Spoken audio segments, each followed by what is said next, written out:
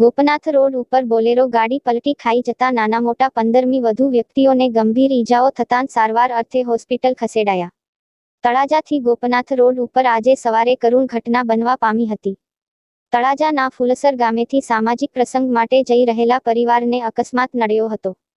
ફુલસર ગામથી આજે સવારે સામાજિક પ્રસંગમાં જઈ રહેલ બોલેરો ગાડીમાં કેટલાક લોકો જવા માટે રવાના થયા હતા. તે સમયે ગોપનાથ રોડ ઉપર ફુલસરથી તળાજા તરફ આવતા રોડ ઉપર બોલેરો ગાડી કોઈ પણ અગમ્ય કારણોસર પલટી ખાઈ જતા ચિચિયારીથી હાઈવે રોડ કંપી ઉઠ્યો.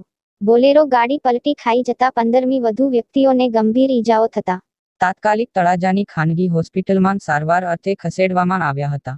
બનાવને લઈને સામાજિક રાજકીય અગ્રણીઓ પણ હોસ્પિટલ દોડી ગયા. તાલુકા પંચાયત સદસ્યો આગેવાનો હોસ્પિટલ ખાતે દોડી ગયા. જરૂરી કાર્યવાહી હાથ ધરી હતી. અકસ્માતમાં નાના નાના ભૂલકાઓને પણ ગંભીર ઈજાઓ પહોંચી હતી. પોલીસ સ્ટાફ દોડી ગયો. તપાસ હાથ ધરાઈ. વધુ વિગત મેળવાઈ રહી છે. કેમેરામેન ધર્મશીભાઈ મકવાણા સાથે કમલેશ ઠાપા તળાજા.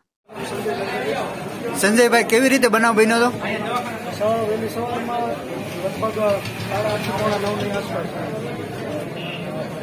ભાવનગર મુકામે અમારા દીકરીને એટલે ફેરવા માટે જતા હતા. ત્યારે એ ટર્નિંગમાં બરોબર ડ્રાઈવર થોડોક સ્ટ્રેક પરનો કાબુ ગુમાવ્યો કંટ્રોલ નો પલટી મારવાથી આ બધી અત્યારે સમુદ્ર હોસ્પિટલના આ સમગ્ર સ્ટાફની મદદથી અત્યારે તાત્કાલિક બધાને સારવાર મળી છે. બધા નાની મોટી ઈજા થઈ છે. પંદર પંદર જણા.